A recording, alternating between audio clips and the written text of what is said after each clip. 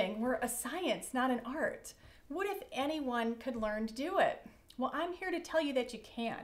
And the lessons I'm going to talk to you about will help you be a better schmoozer, whether it's for your private life, whether you need to work with someone different than you, or whether you're confronting a challenging situation.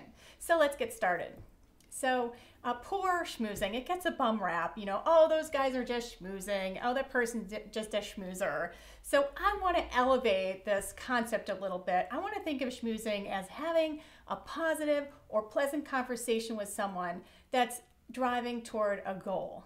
And if you think of it that way, then a lot of things fall under the auspice of schmoozing, right? Uh, whether you're looking for a job and going on an interview, whether you're driving an Uber or a Lyft, whether you are trying to bring on a new client for your design firm, or whether you're negotiating the Paris Climate Accord. And I know I'm going to get lots of emails from people saying that's not schmoozing, that's a negotiation. Yes, that's true. But just think about all the personal connections that have to go into even the most complex negotiations. So, what do I know about this? Well, uh, first of all, my doctorate is in rhetoric, and what do uh, rhetoricians do? We think a lot about um, rhetorical situations, which really means play times when you have to communicate with someone, you have to think of the right thing to say. So um, that's what we do as rhetoricians.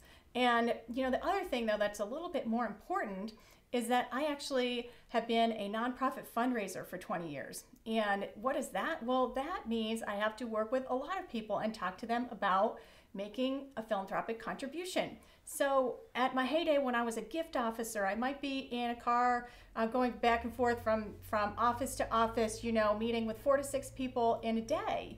And what I'm talking to them about is I'm trying to have a pleasant conversation, but also working toward the goal of getting them to make a gift or really parting with their money. So it's kind of challenging. And it's also challenging because you're with someone that might be uh, more experienced, more senior, uh, more suave, uh, you know, different gender, different political background, lots of ways in which I was very different from the people across the table, but yet my goal was the same. So, you know, fundraising is, um, if anything else, it's, it's schmoozing. And, you know, what I learned from it was really profound, and I want to share that with you. The other thing is that I'm a really shy person. I always thought I'd be uh, reading a book or have my head in a book or be an academic for my career. And I am not. So I had to learn and adapt. Um, when I started out, I was a grant writer in an office of a big university. And the person who was responsible for working with individual prospects and donors had a set of golf clubs in his office. And I thought, oh, I could never be, you know, work with individuals if you need to know how to golf. And people just jet in and go, hey, let's hit the links and let me give you $2 million. Really, I bought into that sort of myth that, you know, what we do when we're schmoozing is it's really easy and it just happens naturally. And either you have it or you don't. You know, there are people that are just naturally good at it or they just always know the right thing to say. And that's not true. And how I know it's not true is several years after that, I got invited to become a gift officer and work with individuals and ask them for support.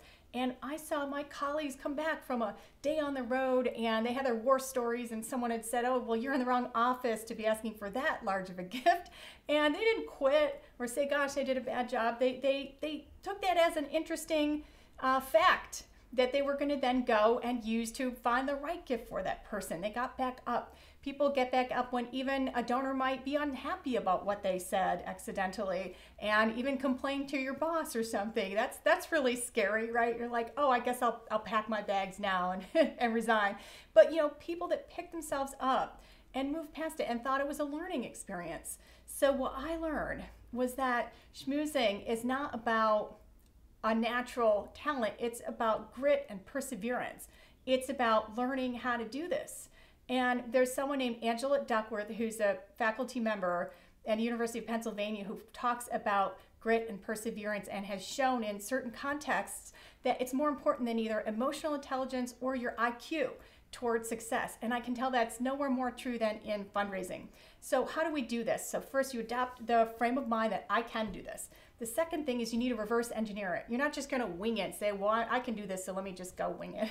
And fundraisers we, we reverse engineer everything. We have a goal. And then we figure out what kind of questions do we need to ask? What do we need to learn about this person in order to get to that goal? And it's it's very micro level kind of stuff. But I want to leave you with a few things that we do as fundraisers that will help you in any kind of thing where you have to have this personal interaction towards some kind of a goal. And I'm going to start with the first zone, which is the icebreaker. So if you're uh, waiting for someone, you're like maybe in their office waiting for them to show up or something, you're in a restaurant, are you just going to be like checking your phone and kind of waiting for them? No, you're going to think like, what can I talk about to kind of break the ice and bring us a little bit closer together? So I have this nice cave art uh, that was done thousands of years ago because I want to remind you that we are all people and we all came from the same wonderful painting painters and drawers and, and cave artists many many years ago. So you want to look for something to kind of explore your common humanity even if it's just as mundane as the weather. Just have something you can talk about. If you see something cool in their office just mention oh i like that painting or whatever it is uh, one time I had just uh, became a new parent and my kid was like up all night and everything and had day night confusion. And so I went in and I was with uh, a donor, very prominent person that kind of said that, oh, well, he was like having trouble sleeping. So I go, oh, you must have day night confusion. And then I thought, did I just say that to this person? Um, like, I hope he's not insulted. And he thought it was hysterical, you know, because it was so kind of off the cuff but also because every parent, whether you were a parent 30 years ago, whether you were the primary parent or not, you know, whether you were uh, had a newborn like yesterday, we all remember that kid staying up in the middle of the night. So it, it brought us a little closer together. And I use that to move on and really build this wonderful kind of connection with this person. The first thing's that icebreaker. And the second thing is you fundraisers know we want to talk a maximum of 40% of the time and listen for at least 60% of the time because that's how you learn about their motivations and what brought them to the table. So I have the picture of Everest up because we all think we know like why people climb Everest. In fact, Tenzing Norgay said the pull of Everest was stronger than any other force on earth for him. Um, then you had George Mallory, who was asked, Oh, why were you trying to climb Everest? And he said, Oh, because it was there. well, that doesn't give you much to go on, but if you look back and kind of peel back the layers of that comment, you know he was talking about it being a remarkable human achievement. And he probably learned a lot through through the, along the way if you wanted to climb Everest. So, you know, there's there's things we can learn about people um, that you really should try and learn if you are wanting to kind of move forward toward a shared goal. And that is part of the theory of interest based bargaining about learning about someone and what brings them there before you just kind of move on and do your pitch or whatnot. Uh, one time I was with a donor and I happened to say, kind of intentionally, Oh, you know, your colleague just joined this Giving Society and they're getting this really lovely plaque. And he jumps in and says, Well, if Shelly has her name on a plaque, I want my name on a plaque too. So sometimes it'll be that easy. Sometimes you have to poke around a bit to get to know someone and understand what's bringing them to the table. And then the third thing is, well, at some point you are going to have to come back to you, the institution you represent, the company you're with, or your skill set if it's a job interview, and talk about yourself. And a lot of us think, oh, we're going to sort of pitch the institution or you know my, my my hard skills or whatever but you also want to bring a little bit of you into it. And that's why i have this cute little dog up here because dogs are great about first of all we think they're cute but they're also great about so they're great social interactors. They're always enthusiastic to see us right? Or most dogs at least. But i want you to remember to create a, some kind of human connection when you're talking about this project and when you're talking about like why you're there um, I often got asked when I was at Yale Law School, toward, toward the beginning of my career, well, why are you um, wanting to work at Yale Law School? Because you're not a lawyer. Now, do you think they were just asking me to make small talk and just, you know, wanted to just kind of shoot the breeze? No, they wanted to know, like, why did I care? You know, it's why if you're in a job interview, say, well, why, why do you want this position? That, that you want to say something that, that shows that you know what that position's about or what that institution's about. And so I would say, no, I'm not a lawyer, but I come from three generations of lawyers. And uh, before that, we were all farmers. So becoming lawyers and becoming a lawyer helped my family move into the middle class in this country. And it was so meaningful for them to practice law. My granddad was like the proudest man. He had his own law firm in our little town, and he was just so happy to say that he was a lawyer and have, hang that shingle out on his um, on his door.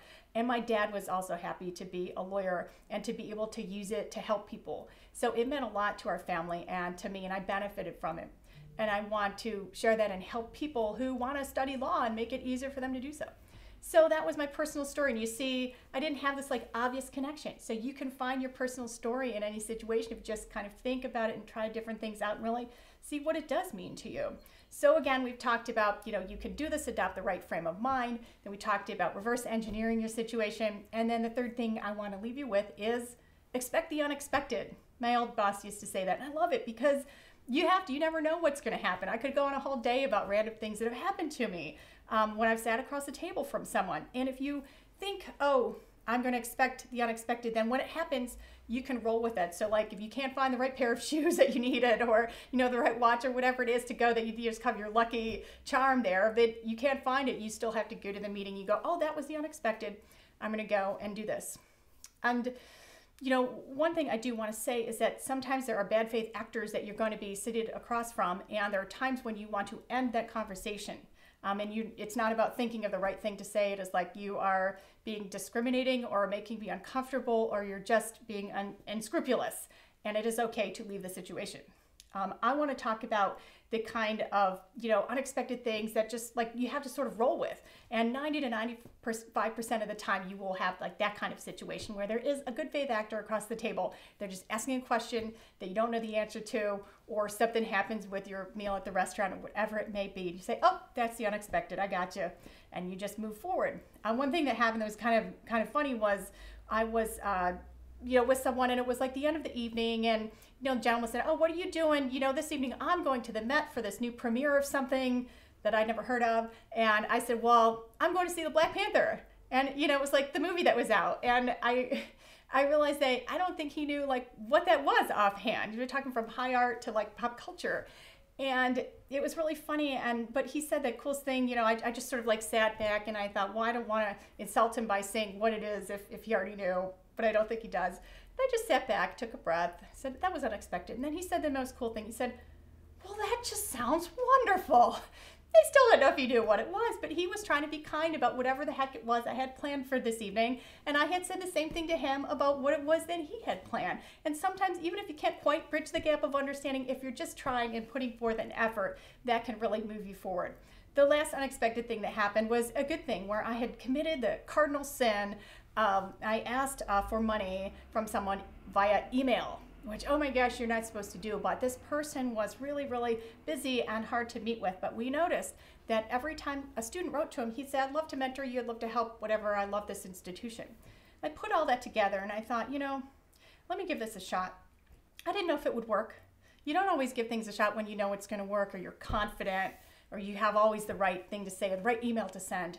You know, you have to do it even if you're not sure but I knew it was a good thing to try. So I wrote this, put together this kind of thoughtful email, put a lot of thought into, you know, letting him know uh, how much we were proud of him as an alum and asking him if he might uh, want to, you know, honor this connection through an endowment uh, that he created. And a couple days later, he called me back and said he wanted to do that. And it was really, really instructive about like how you kind of think outside of what your parameters are and do something if you kind of believe in it. But even if you're nervous or worried about it, you know, you can get better and you can learn.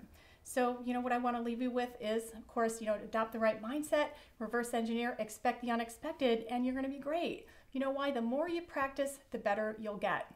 And that's because schmoozing is a science, not an art. Thank you very much.